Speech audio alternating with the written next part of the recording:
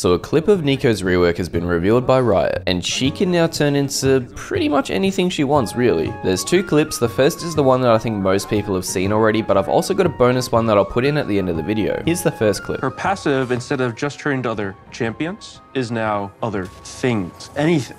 She can turn into a plant, she can turn into a Teemo mushroom, she can turn into a minion, a monster, and a champion. Here's the second one which shows actual gameplay.